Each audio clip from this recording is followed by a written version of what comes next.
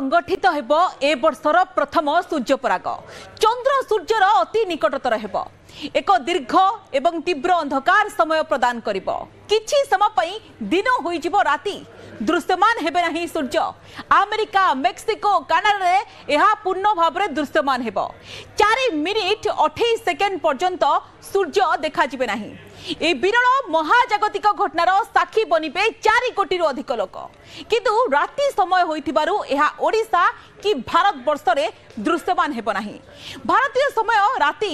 নটা বার মিনিট আরম্ভ হয়ে এ ন তারিখ ভোর দুইটা বাইশ মিনিটে শেষ হব সর্বাধিক উপ উপরাগ রাতে এগারোটা সড়চাশ মিনিটে দেখাযিব সেইপরি আংশিক উপরাগ দেখিপারে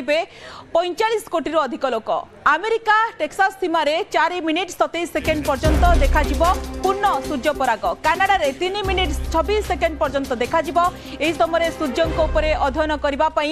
নাসা পক্ষ এক স্বতন্ত্র জেড উড়াযিব যাকি সূর্যঙ্কর গতিবিধি এবং পরাগ লাগা সময় হেউথিবা পরিবর্তন উপরে নজর রাখব পৃথিবী ঠার প্রায় ପଚାଶ ହଜାର ଫୁଟ ଉଚ୍ଚରେ ଉଡ଼ିବ ଏହି ଜେଟ୍